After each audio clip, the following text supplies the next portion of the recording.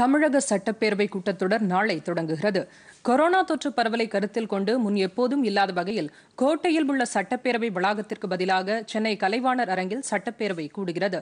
நாளை காலை பத்து மணிக்கு தொடங்கும் முதல் நாளன்று முன்னாள் குடியரசுத் தலைவர் பிரணாப் முகர்ஜி சட்டப்பேரவை உறுப்பினர் ஜே அன்பழகன் நாடாளுமன்ற உறுப்பினர் வசந்தகுமார் ஆகியோரின் மறைவுக்கு இரங்கல் தெரிவிக்கப்பட்டு கூட்டம் ஒத்திவைக்கப்படும். பின்னர் வரும் செவ்வாய் மற்றும் புதன்கிழமை ஆகிய இரு நாட்கள் சட்டப்பேரவை கூட்டத்தொடர் நடைபெறவுள்ளது.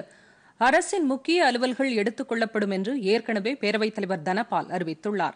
சட்டப்பேரவை கூட்டத்தொடரில் பங்கேற்கும் உறுப்பினர்கள் ஊழியர்கள் மற்றும் பத்திரிகையாளர்கள் அனைவரும் கொரோனா பரிசோதனை செய்து கொள்ள வேண்டுமென தெரிவிக்கப்பட்டுள்ளது. அதற்கான சான்று இருந்தால் மட்டுமே கூட்டத்தொடரில் பங்கேற்க அனுமதிக்கப்படுவார்கள் என்று ஏற்கனவே அறிவுறுத்தப்பட்டுள்ளது.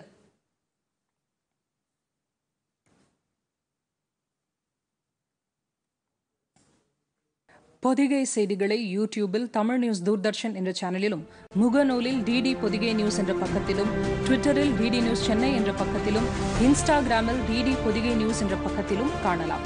மேலும் உங்கள் கருத்துக்களை Podhigai DD news at Gmail dot com என்ற மின்னஞ்சலில் தெரிவிக்கலாம்.